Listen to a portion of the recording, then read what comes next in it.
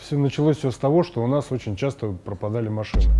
До апреля 2015 года работал техническим директором в компании «Рольф», филиал Ясенева. Пропадали с интервалом одна-две машины в месяц. У меня жизненная позиция, я сам никогда не воровал, никому не, не позволял. Машины пропадали с ключами, с моек, то есть их никто, спокойненько их забирали и уезжали. Я это перекрыл. Не взлюбил очень сильно меня начальник службы безопасности компании «Рольф», Ктитров Андрей Геннадьевич. Говорил, что он меня посадит. То есть я перекрыл ему кислород по деньгам, и была внутрикорпоративная война. Я тоже являюсь обвиняемым по этому делу.